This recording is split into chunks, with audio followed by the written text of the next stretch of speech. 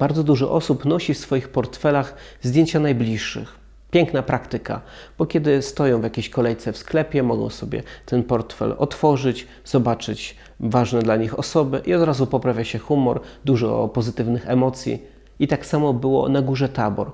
Po to Jezus objawił się swoim uczniom w pełnej krasie, po to, żeby oni go zapamiętali właśnie takim, bo kiedyś im to się przyda. Pewnie poprawi emocje, a może bardziej zmotywuje do jakiegoś działania, do poświęcenia.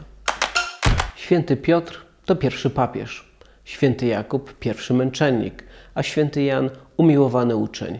Każdy z nich miał swoje powołanie i po to Jezus ukazał im się w pełnym majestacie, aby mogli to powołanie lepiej zrealizować, tak z przekonaniem.